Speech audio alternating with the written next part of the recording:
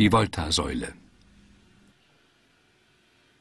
Volta schichtet Kupfermünzen und Zinkplättchen abwechselnd aufeinander und trennt diese durch eine in Salzwasser getränkte Lederscheibe.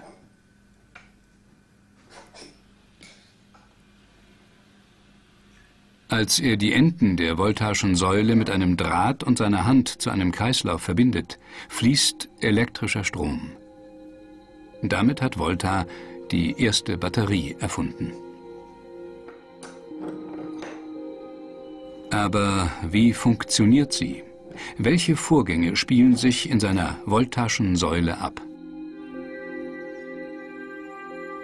In einer Batterie wird chemische Energie in elektrische Energie umgewandelt. Es existieren zwei Kammern, die durch eine poröse Membran voneinander getrennt sind. In einer Kammer befindet sich die Zinkelektrode, in der anderen eine Kupferelektrode. Die Funktion der Batterie beruht auf der unterschiedlichen chemischen Reaktion der Metalle. Die Zinkelektrode gibt Ionen an die Lösung ab. Durch die nun fehlenden positiven Ladungsträger wird die Elektrode negativ geladen. In der Kupferzelle erfolgt ein vergleichbarer Vorgang, aber in einem wesentlich geringeren Maße. Denn die Oxidationsfähigkeit, also die Tendenz des Kupfers, Elektronen abzugeben, ist geringer als bei Zink. Deshalb ist auch die negative Ladung wesentlich geringer als bei der Zinkelektrode. Werden die Elektroden nun mit einem Metalldraht verbunden, fließen die Elektronen über den Draht von der Zinkelektrode zur Kupferelektrode. Aber dieser Prozess hält nicht unendlich lange an, denn irgendwann enden die chemischen Prozesse in der Batterie.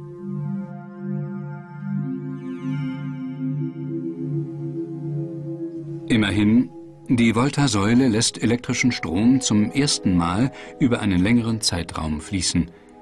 Dies ist der entscheidende Schritt zur weiteren Erforschung der Elektrizität.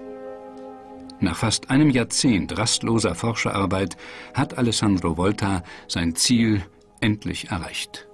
Im Alter von 55 Jahren gibt er im Jahr 1800 in einem Brief an die Royal Society in London seine neue Erfindung bekannt.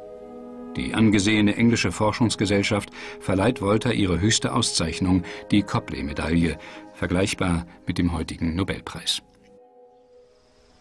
Im Jahr darauf reist Volta nach Paris, wo er Napoleon Bonaparte vor der Académie des Sciences, der Akademie der Wissenschaften, seine Volta-Säule vorführt. Napoleon ist von der Erfindung begeistert. Er verleiht Volta eine Jahrespension und ernennt ihn zum Grafen und Senator des von Frankreich besetzten Italien.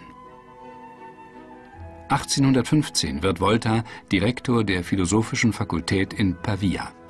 Vier Jahre später zieht er sich nach Como zurück. Dort stirbt er am 5. März 1827 im Alter von 82 Jahren. Über 50 Jahre später, von August bis November 1881, findet im Palais de l'Industrie in Paris der erste elektrische Weltkongress statt. Es werden technische Neuerungen vorgestellt, wie die elektrische Straßenbahn von Siemens oder ein Beleuchtungssystem mit Glühbirnen von Edison. Vor allem aber beschäftigen sich die Teilnehmer mit der Vereinheitlichung der elektrischen Größen.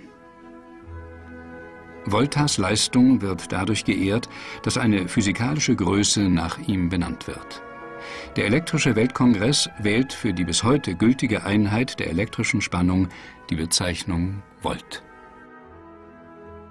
Alessandro Graf Volta wird im 19. Jahrhundert als der Begründer eines neuen Zeitalters gesehen, des Zeitalters der Elektrizität.